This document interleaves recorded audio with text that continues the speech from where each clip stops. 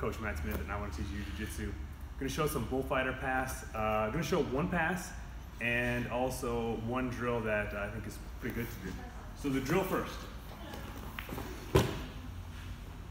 Get the pants grip, just like I'm playing spider guard, rolling the knuckles. And I'm gonna go side to side every time he's gonna push my shoulder back to, to help me in the drill.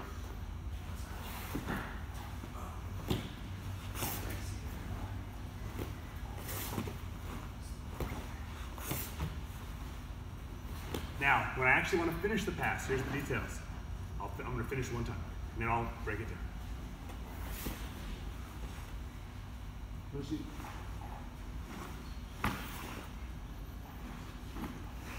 So, what's happening?